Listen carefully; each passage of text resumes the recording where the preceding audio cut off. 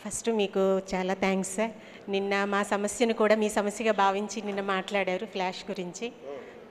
సరే మేము గత పంతొమ్మిది సంవత్సరాల నుంచి మే మేము అక్కడ ఎవరైతే టీం మెంబర్స్ ఉన్నామో వాళ్ళు సర్వీస్ చేసుకుంటూ మాకు ఎటువంటి ఫైనాన్షియల్ సపోర్ట్ లేకపోయినా మేము అంబులెన్స్ సర్వీస్ కానీ ఫ్రాజరీ మన ఫ్రీజర్ బాక్సెస్ అంబులెన్సెస్ అవన్నీ మేము సొంతంగా మేము చేసుకుని మేము సర్వీస్ చేస్తున్నాం సార్ ఇంతకుముందు ఇలా ఉండేది సార్ మనం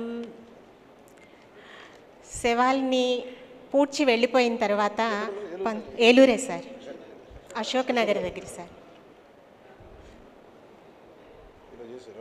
ఈ కాంపౌండ్ వాల్ కట్టడం ఇవన్నీ మా సంస్థ ద్వారానే చేసాం సార్ మేము. అయితే కొన్ని మిస్అండర్స్టాండ్స్ వల్ల ఇప్పుడైతే మాకు ఇప్పుడు అంబులెన్స్ పెట్టుకోవడానికి కానీ ఫ్రీజర్ బాక్సెస్ పెట్టుకోవడానికి కానీ ఏమీ లేకుండా ఇవన్నీ తీసేసి కన్స్ట్రక్షన్ అంతా ఇలా చేస్తారు సార్. ఇవన్నీ ఇవి పెట్టుకోవడానికి మాకు కరెక్ట్గా ఒక ప్లేస్ కూడా ఎక్కడ లేదు సార్. నేను అందుకు నా వెంటనే తగిలే నాకు నేను మాట్లాడడానికి కారణం అది.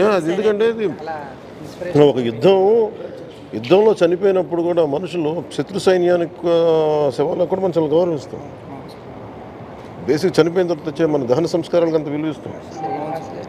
మీరు బ్రిడ్జి కింద ఆఫీస్ అది? అదే నేను వెళ్తా అంబే అంబేద్కర్ గారి ఫోటో ఉంది అదేనా?